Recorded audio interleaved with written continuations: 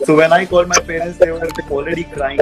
Everyone was in fact crying at that time. It was it was a very because as a youngster, you know, whoever starts playing. रो पड़े ईशान किशन जी हाँ गाई जब BCCI ने उन्हें अपने contract list में शामिल नहीं किया तो ईशान किशन वीडियो कॉल पर रोहित शर्मा से रोने लगे जिसका मतलब यह होता है दोस्तों की बीसीसीआई की तरफ़ से ईशान किशन को कोई भी सैलरी नहीं मिलेगी और वे टीम इंडिया के साथ नहीं खेलेंगे बता दे दोस्तों की बीसीसीआई ने ईशान किशन पर बयान देते हुए कहा की ईशान किशन को कॉन्ट्रैक्ट लिस्ट से हटाने के हमने दो कारण बताया है। पहला कारण यह है कि जब हमने उन्हें डोमेस्टिक क्रिकेट और रणजी क्रिकेट खेलने के लिए कहा तो वो हमारी बात नहीं सुने। और दूसरा कारण यह है कि जब उन्हें हमारी तरफ़ से कॉल किया गया तो उन्होंने हमारी कॉल का कोई जवाब नहीं दिया। इसलिए हमने उन्हें बीसीसीआई के कॉन्ट्रैक्ट लिस्ट से बाहर कर दिया है। जिसके बाद दोस्तों, ईशान किशन, भारतीय कप्तान रोहित शर्मा से वीडियो कॉल पर बात करते हैं और रोते हुए कहते हैं कि, मैं फिर से टीम इंडिया के लिए खेलना चाहता हूँ। तो गाइज़ इससे तो यह पता चल जाता है कि ईशान किशन भी केवल पैसों के लिए ही खेलते हैं। और जब उन्हें बीसीसीआई ने अपने कॉन्ट्रैक्ट लिस्ट से बाहर कर दिया तो उनका दर्द छलक कर बाहर आने लगा। इस पर आपकी क्या राय है दोस्तों? आप हमें नीचे कमेंट बॉक्स में कमेंट करके ज़रूर बताएँ।